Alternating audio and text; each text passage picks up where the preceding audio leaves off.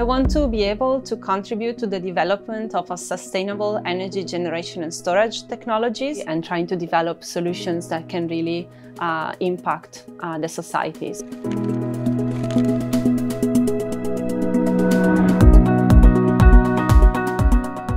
Nanophotonics aims to understand and manipulate the interaction between light and matter on a nanometric scale, allowing to redefine the transport and conversion of energy. Giulia Tagliabue's Nanoscience Laboratory for Energy Technologies focuses on optoelectronics, specifically the fusion of optics and electronics, with the goal of providing a disruptive approach to sustainable energy creation. So we are trying to understand how, uh, beyond confining uh, light and bringing it to the nanoscale, how can we then use the energy of light for further energy conversion uh, processes. And so we try to understand uh, this in a, a, broad manner. There are, um, let's say, three main pathways with which we can convert the uh, energy of light. One is a photochemical process, so uh, driving chemical transformation.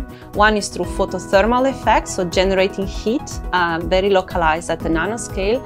And another one is through electrostatic coupling uh, with um, ions that are contained in a fluid. You can think about seawater that contains salt, and then we try to understand how uh, we can manipulate this salt-solid interaction, which can also be used uh, for energy conversion.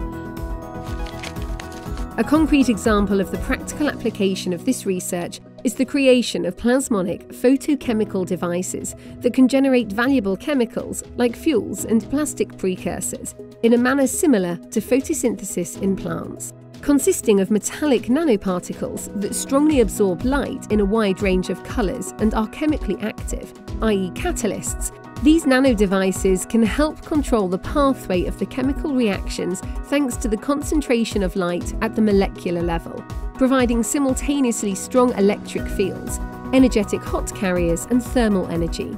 The experiments carried out reveal fundamental aspects of the interaction between the absorption of light, the transport of hot electrons produced by light, and their transfer to molecules.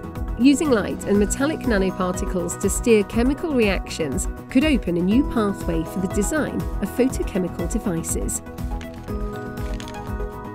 In the next steps of our research, we want uh, to do two things. On one hand, we want to go uh, deeper on some fundamental aspects and in particular, understanding how the heterogeneity of uh, nanomaterials impacts the energy conversion processes.